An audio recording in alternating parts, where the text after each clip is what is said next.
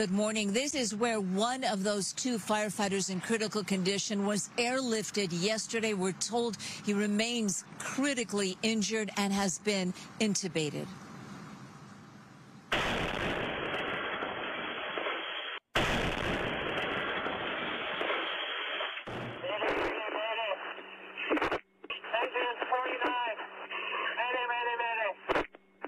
We've had a explosion of a CNG truck. We've got multiple firefighters down.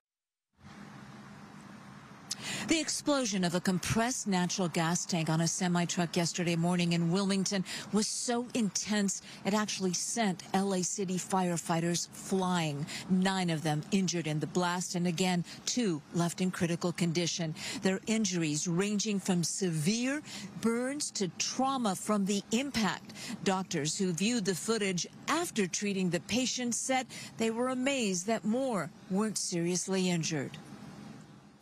And frankly, it's remarkable that none of them were more severely injured after watching the footage. I'm reminded of how heroic our members are and that each and every day they are putting themselves in harm's way to provide an incredible level of expertise and professionalism. It's just going to be for a few hours.